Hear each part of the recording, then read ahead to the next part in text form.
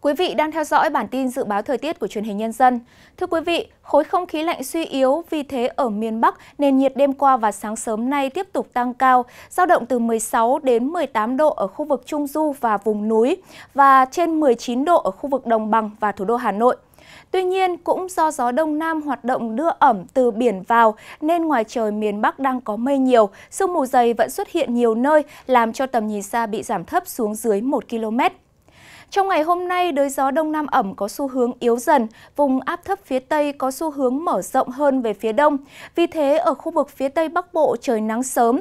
Nền nhiệt cao nhất trong ngày hôm nay ở khu vực các tỉnh Lào Cai, Yên Bái, Lai Châu, Điện Biên, Sơn La và Hòa Bình lên tới 26 đến 28 độ.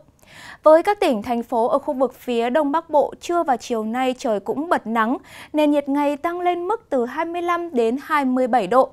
Ở Cao Bằng và Hà Giang có nơi nhiệt độ cao sấp xỉ 29 độ, trời nắng ấm. Gió Đông Nam ẩm cũng tác động yếu làm cho khu vực Thanh Hóa, Nghệ An và Hà Tĩnh có mây nhiều. Sương mù cũng đang xuất hiện nhiều ở ba tỉnh phía Bắc của miền Trung. Tuy nhiên, tình trạng mây nhiều và sương mù này sẽ nhanh kết thúc. Sau 8 giờ thì sương mù hết, sau 9 giờ thì mây tan hẳn. Thanh Hóa, Nghệ An và Hà Tĩnh trời chuyển nắng. Nền nhiệt cao nhất trong ngày hôm nay ở phía Bắc của miền Trung vì thế sẽ tăng lên ngưỡng từ 27 đến 28 độ. Còn với khu vực các tỉnh thành phố Trung và Nam Trung Bộ, dọc từ Quảng Bình trở vào đến tận Bình Thuận, nắng từ sớm, nên dù cường độ nắng không mạnh thì nhiệt độ ngày hôm nay cũng tăng được lên ngưỡng từ 29 đến 32 độ. Không mưa, nắng sớm cũng là thời tiết trong ngày hôm nay ở các tỉnh phía Nam. Dự báo càng về trưa thì cường độ nắng càng mạnh nên nhiệt độ ở Tây Nguyên và Nam Bộ sẽ tăng khá nhanh. Đến chiều nhiệt độ ở các tỉnh Tây Nguyên sẽ là từ 30 đến 33 độ.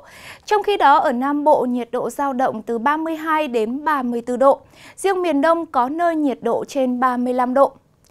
Trên biển trong sáng và đêm nay ở vịnh Bắc Bộ tiếp tục có sương mù và sương mù nhẹ khiến cho tầm nhìn xa bị giảm thấp xuống dưới 1 km, gây khó khăn cho việc lưu thông. Trong khi đó, các khu vực khác không mưa, tầm nhìn xa thoáng đãng trên 10 km. Sau đây là dự báo thời tiết trong 3 ngày tại các khu vực trên cả nước.